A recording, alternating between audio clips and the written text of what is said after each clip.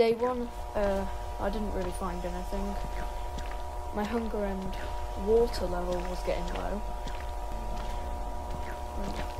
Day five, I almost got killed by a monster.